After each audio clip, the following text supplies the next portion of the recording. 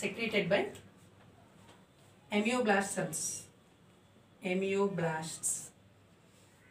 Amyoblast cell secretes enamel, which is the hardest and non-living. Non-living hardest substance. This is derived from the ectodermal. Ectodermal layer ectodermal నుంచి form అవుతుంది enamel so ఈజీగా గుర్తుంచుకోండి E for ectoderm E for enamel. So dentin, so substance created by, substance secreted by odontoblasts. Dentin, odonto, odontoblasts cells, odontoblasts. So dentin substance and enamel substance. So hardest part, no shiny material. So it is formed by calcium,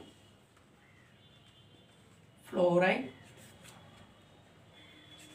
chemically known as hydroxyheptite. Hydroxy apatite.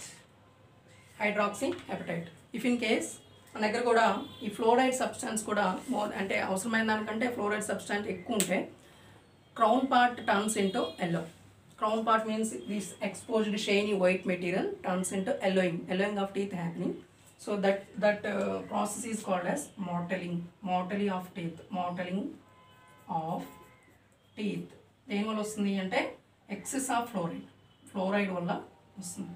So fluoride substance required కంటే ఎక్కువ material కూడా వస్తాయి. Automatically mottling of teeth happening in or crown region crown region crown region వరకు అది form అవుతుంది. So ఇంతవరకు మీరు L S టూత్ని అబ్జర్వ్ చేయొచ్చు. సో ఇక్కడ మీరు మెయిన్గా గుర్తుంచుకోవాల్సింది teeth is tooth is originate from two regions ecto and mesodermal in origin ectodermal region and mesodermal ఆరిజిన్లో ఏ ఏ పార్ట్స్ నుంచి వస్తున్నాయంటే dentin is the substance which forms tooth so it is secreted by the odontoblast region odontoblast so odontoblast also derived from the mesodermal region.